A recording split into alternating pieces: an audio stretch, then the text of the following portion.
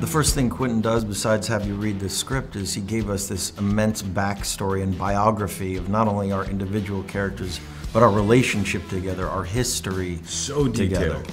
As two sort of outsiders in the industry that are trying day by day to be successful. So, having grown up in this town, getting all that reference and being able to work with Brad, I think the first day there was just this automatic understanding of who these types of men were and how they relied on one another implicitly to survive and navigate through this industry.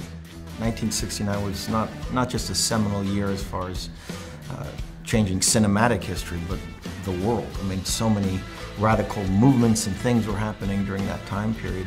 It's a, cinema, a truly cinematic experience, and I know it because I was fortunate enough to see it in person. But these sets aren't added in post. These, these aren't. This isn't a CGI feel. I, there was no green screen. There was no. We'll make it look like 1969 later. Just use mm-hmm. your imagination for now. I was there. I got to see it, and I'm telling you, when you sit there, you can feel the authenticity. You are truly transported to 1969. He gives us this sort of time warp, but also mixed with that Tarantino sort of fairy tale aspect of it too. It's this nostalgic look back at a time and what could have been through the eyes of guys that are on the daily grind just trying to make ends meet.